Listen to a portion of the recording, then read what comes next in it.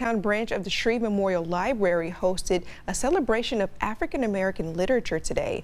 Local African American authors shared their journeys and inspiration as writers with a variety of book topics from life struggles to triumph.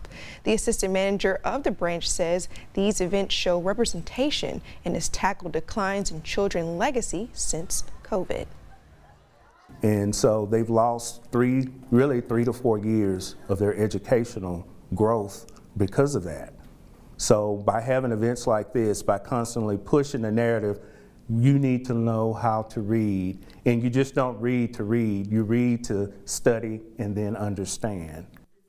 The library hopes to have the event quarterly with next month, well, in October, they'll be discussing more then.